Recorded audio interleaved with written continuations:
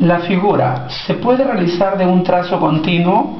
Analicemos si hay puntos pares e impares. Este punto es un punto par. Este punto es un punto par porque ahí concurren un número par de líneas. Lo mismo, tenemos puntos pares, punto par, ¿cierto? Punto par. Mira qué hermoso, punto par, qué bonito. Punto par. Entonces todos los puntos son pares. Ahora, si todos los puntos son pares, sí se puede realizar a un solo trazo. Sí se puede realizar a un solo trazo.